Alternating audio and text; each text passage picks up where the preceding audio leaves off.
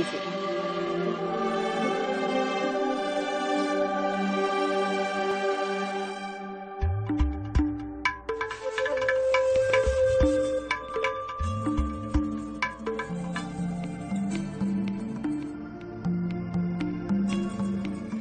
हम नारंगी खाते हम उसे पूर्ण जागरूक होकर नहीं खाते। हमारे लिए ये नारंगी असत्य है। यदि ये नारंगी असत्य है तो इसे खाने वाला भी असत्य हुआ ना?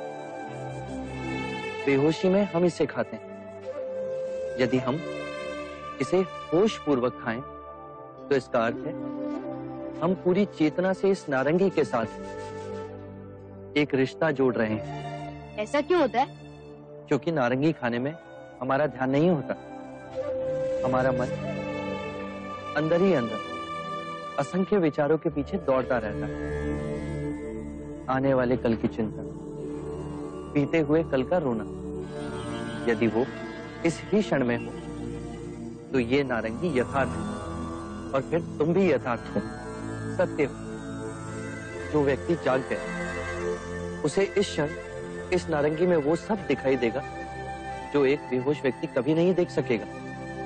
जागा हुआ व्यक्ति उस वृक्ष को देखेगा, जहाँ ये उपजा वसंत ऋतु में उस वृक्ष पर खिलते हुए फूलों को देखेगा। धूप को उस वृक्ष को पालते हुए देखेगा।